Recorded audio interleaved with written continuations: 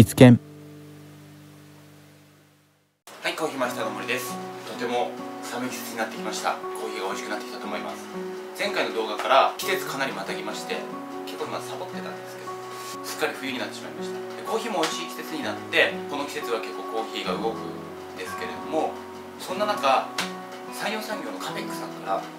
嬉しいサンプルをいただきました。こちらです。3種類フィルターをいただきました。ぜひレビュー動画を上げてくれっていうことだったので早速動画を作っていきたいと思いま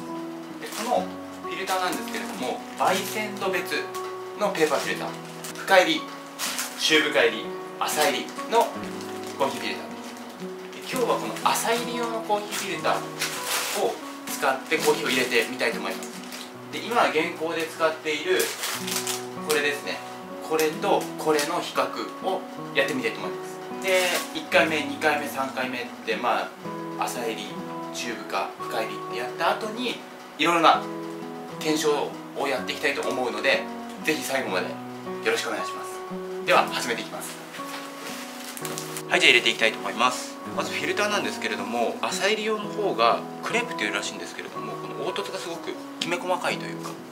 で中のこのこっち側ですね。従来のものはすごくデコボコしてるんですけれども浅入り用はツルツルです。ツルツルになるとその、まあ、目詰まりとかもこう起きやすくなったり表面積も狭くなったりするので後半目詰まりが起きて排出スピードが落ちたりみたいなことを狙ってるらしいのでその辺りがどうなるかっていうのをちょっと検証してみたいと思います。じゃあまずは普通のフィルターで入れてみたいと思います。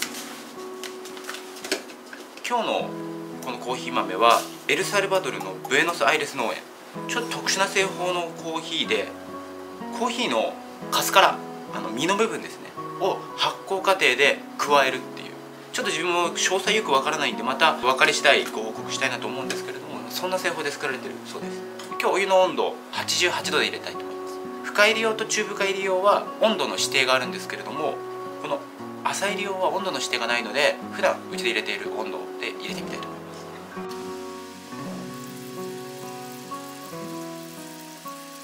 入れ始めて中盤なんですけれども若干ですね浅入りの場合は高分子が少なくてこのハンバーグ状の形状を保つことができなくなっちゃって崩れ始めるんですよね。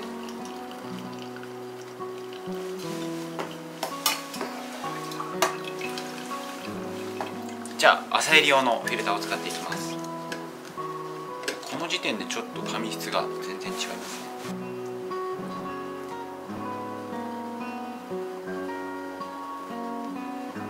からいきます。この時点でのこのお湯の上がり方とかっていうのはそこまで大きく差はないですね。今中盤ぐらいまで注いだんですけれどもさっきの通常のフィルターの時よりも心なしこのハンバーグ状のこの膨らんだ部分を保ってくれるような感じが少しありますね。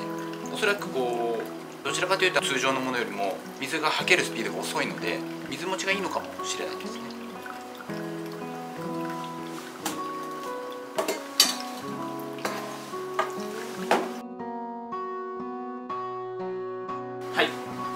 たので飲んでみたいと思います。これが従来のフィルターそれから浅入り用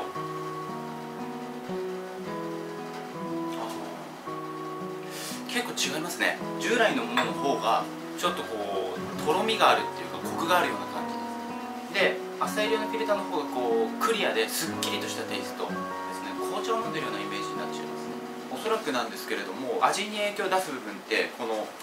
凹凸だったりとか中がすごくツルツルだったのでこの辺りだと思うんですけれども微粉とかをかなり除去してくれます。ペーパーの内側が凹凸がないのですごく表面積が少なくて紙の密度も高くなってます。なので目詰まりを起こしやすくなるんですね。フラットな紙の上に微粉がついていくのでなので後半に向けて若干水は落ちにくくなる。ような設計になってますね。なのでよくこうコーヒー入れてて浅入りのコーヒーとかってこうサラサラサラサラ最後にこう抜けてっちゃうようなイメージになって入れててちょっと気持ち悪いなって思ったりするんですけれどもそれが最後ちょっとだけこうお湯をクッと持ち上げてくれることでこうドームを保ったまま入れてる感じはすごく気持ちいいなと思いました。そこはまあ一つ朝入りに特化してる方とかはいいのかなって感じました。その代わり表面の面積が少なくてお湯持ちが悪い分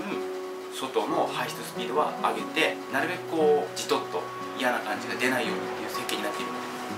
とてもあの優秀なフィルターだと思います。うちでもぜひこれを扱ってみたいなって感じました。店頭で見かけた際とか試してみると面白いんじゃないかなと思います。で今日はそんなところでで次回はあのチューブ帰りのレビューを行っていきますのでぜひそちらもよろしくお願いします。ではまた。次の動画で。